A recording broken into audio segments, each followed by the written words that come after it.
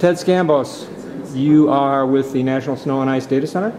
Yes, I am. I'm the lead scientist at the National Snow and Ice Data Center. It's a part of the University of Colorado.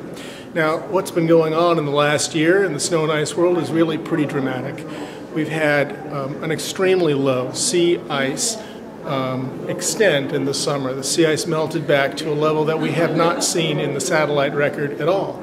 And so what we're seeing is a gradual progression towards uh, ocean in the north that has no ice on it whatsoever in summer. Right now we're about 60% of the way there. And what we need to do is keep monitoring that area year by year and see how this is going to impact climate because it's sure to impact climate when so much of the white part of the earth near the pole turns to dark ocean. It changes how much heat is in the air and how air circulates around the pole.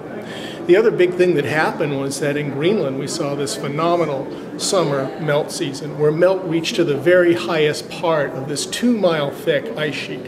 And even where they had never seen melt before in all the years that they've been driving across Greenland and setting up these various spaces, there were areas that melted for the first time. That was in the summer of 2012 in the north. Now, in the south, one of the big things that's happened is that over the last decade, not just this year, we've been seeing a tremendous amount of ice lost from a couple of areas in Antarctica. One of those areas is um, near the south end of the Pacific Ocean, and what it's seeing is warmer water reaching in below the ice and melting the base of the ice and causing it to flow out more rapidly than it used to. There's another area, and it's sort of that tip of your thumb if this is Antarctica. It's this area up in here, the warmest part of Antarctica. And that's seeing a warmer air temperature, a warmer climate. And we've been watching that area for a long time. It showed some big, big changes back in the early 2000s.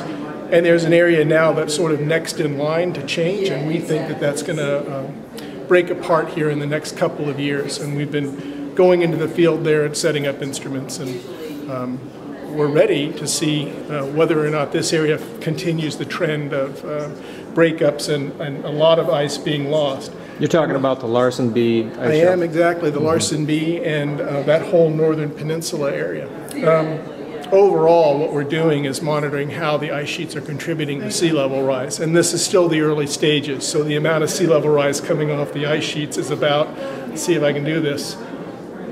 I you can see it's an mm-hmm. exciting time at AGU. It's hard right. to hold your fingers that close without touching, but it's about a millimeter or so per year. Now, as I said, it's early stages, and by the end of the century, that could well be a couple of centimeters per year. And at that point, we're already going to be in for quite a bit of sea level rise, and there'll be nothing that we can do about it.